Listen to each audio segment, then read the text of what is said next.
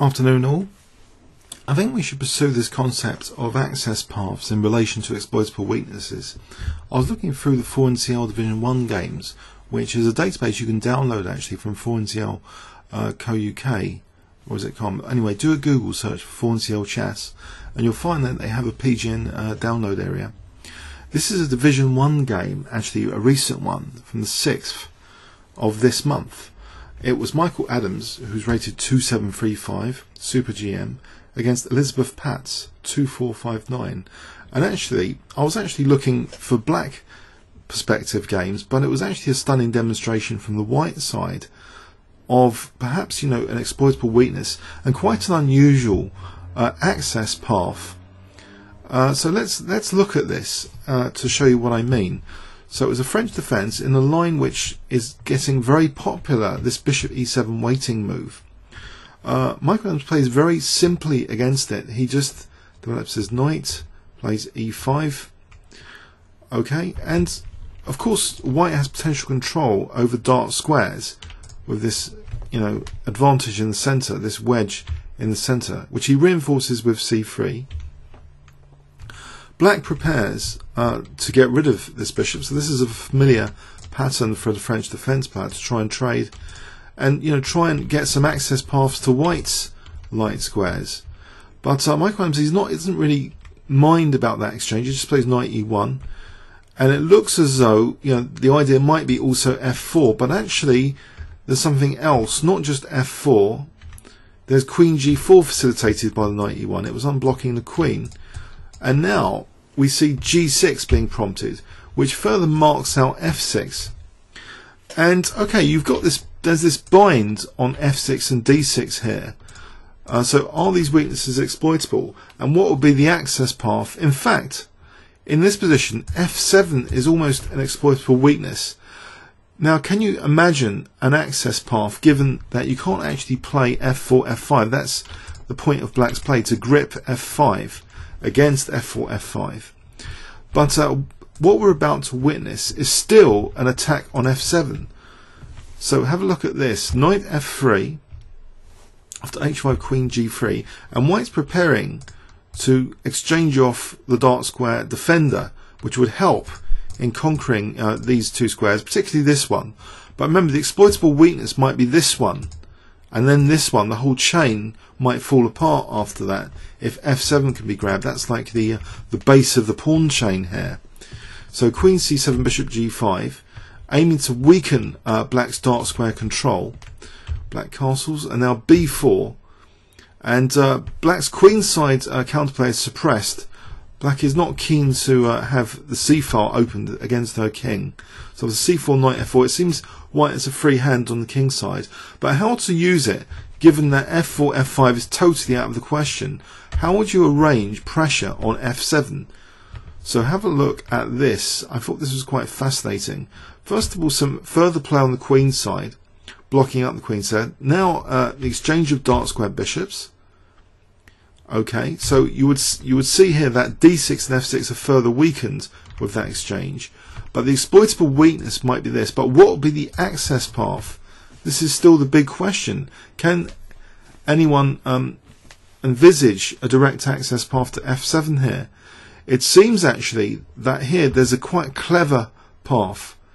Knight g5, yes, putting a knight on it immediately looks good, which is now forcing first sign of having to defend f7.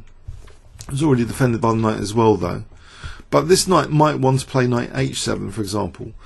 But here, the access path is revealed. This f-pawn is not needed. It can stay where it is. Rook e3. This rook lift, which we've seen in one of my French defence games as black, another horrible loss earlier in the season, creates the access path of simply the f5 piling up on that f file against f7 here. So black is quite helpless. There's white seems to have a free hand to just build up pressure now. Okay, Queen d7 does prompt protection of the a of the b pawn with a4. So knight b7, that's not so harmful. Apart from this this route, you know, these squares are ruled out. Rook f3, and pressure is starting to increase now on f7.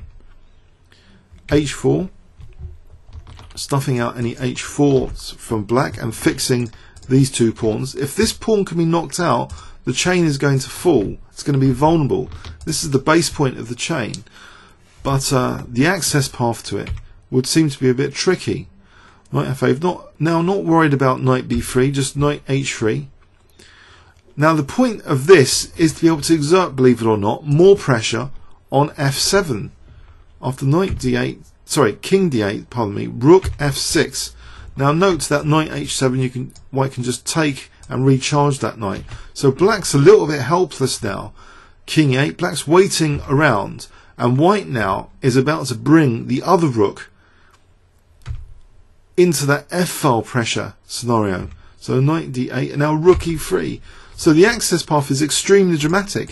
Three heavy pieces piled up on f7 now after rook f3. Quite an aesthetically uh, pleasing attack. So uh, rook g8, black's just waiting for a bit now to see what how will white progress this. And white waits a bit, maybe to get uh, some extra time or something under time control at move 40. So heading for move 40 without risking the position. G3 is not much of a compromise for the position at all. So maybe um, Michael wanted to get the extra hour on the clock by, by getting to move 40. So now, approaching move 40, there starts to be a committal decision. Move 40 king f1, and now at move 41, an extra hour for both players classic FIDE time control. White decides to use g4 to try and break through.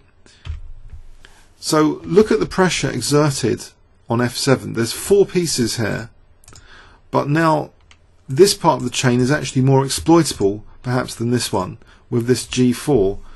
Black takes plays rook h8 which would seem to be logical. There's another blockade here on h5. Or is there? No, it's about to be blown away and this requires some calculation. Knight f4 would seem to be blundering the exchange. Although it prepares h5, what about knight d7, this poor trapped rook? It's not a problem. After knight d7, Adams plays a crushing move here. Absolutely crushing. I wonder if you can spot it if I give you 10 seconds starting from now.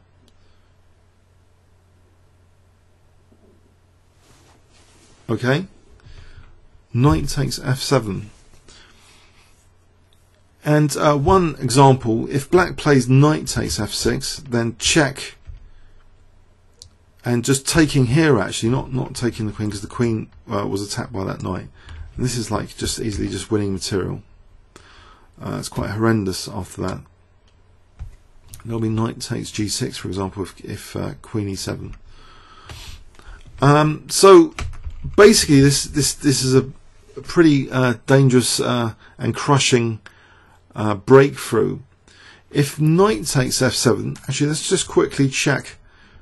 Knight takes f7, which might be black's best try. Knight takes g6. And we see that huge pressure exerted on f7. Now the rook is also attacked. And if takes here, e takes, two rooks are attacked if one of them dared to move, then actually taking here is also pretty crushing. It's all just crashing through uh, in a literal sense. It seems black's pieces are all, well, white can either maybe play simply just takes and winning or incisive move rook e3. So let's stop that. So it's actually uh, a crushing breakthrough, this knight takes f7. It's not a great advert for French defence. I know I'm probably putting you off, uh, all of you off playing the French defence over again if you did play the French defence. But uh, no, there, there are some great wins in the Foreign with the French. It's just Adams is a, a, a class GM. He, he stops all the counterplay on the Queen's side. He pulled up, you know, remorselessly uh, pressure on f7. And then when f7 seemed to be guarded, he broke through with g4 and this this is a logical kind of uh, culmination of, of that breakthrough. Now knight takes e5 is a little bit of desperation. It's just taken here, and then queen takes f7. It's just and now knight takes d5, and it's really all over. You know, hor horrendous position for black, and black gives up here. it's all falling to bits really. Um, so there'll be, for example, check and queen takes c4 if needed. At minimum of queen g7. That's that's an easy uh, uh, way. So if we have a look, um, basically, I, I um, the game shows that with the space advantage, there was an interesting access path of rook e3 to f7 to get to f7, and you saw three heavy, really heavy pieces piling the pressure on f7 in conjunction with the white knights. The prelude to this, that the exchange of the dark square bishops, uh, the dark square grip uh, was first set up here, and then the rooks came in to bear pressure on f7. So a treble, like Alekhine's gun type uh, pressure here, with trebling of the two rooks and the queen. I think the queen might technically have to be before the rooks actually for the Alekhine's gun concept. Uh, but it's quite an impressive uh, trebling. I think you'll agree. So uh, here, uh, waiting till move 40 to calculate the breakthrough. Uh, black's just helpless here with this occupation on the dark squares and the enormous f-file pressure. Uh, the breakthrough with knight f4, which needed some precise calculations. So it seems knight takes f7, crushing blow here. Okay, so um, there's there's something I thought in, in, in terms of access paths to glean on this that sometimes you know even uh, with the pawn left on f2 you can arrange an f-file attack if it's like a, a French defence closed position. Sometimes black might not be able to do anything. It seems in closed positions like the French, uh, the access paths are, are very important and that they can be slowly taken advantage of. Uh, because of the nature of position being slow and closed, if, if the opponent's counterplay is minimized, minimal, uh, then they can just be waiting around for long, seemingly long, you know, maneuvers. In this game, we saw a trebling maneuver, uh, culminating then in a breakthrough on the king side. I hope you got something from that. I'm just gleaning over for this, this new concept really to find examples which might support the idea that um, as well as the identification of exploitable weaknesses, identification of critical access paths to them might be just as important to really realize an exploitable weakness. Comments or questions on YouTube? Thanks very much.